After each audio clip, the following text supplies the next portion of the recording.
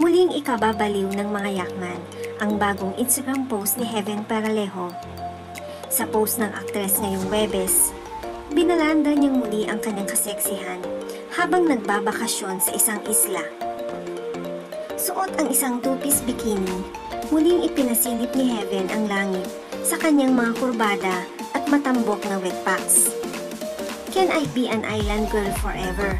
Saad ni Heaven sa caption. Pinusuan naman ng kanyang mga followers ang kanyang post. Ano ang sa inyo sa balitang ito?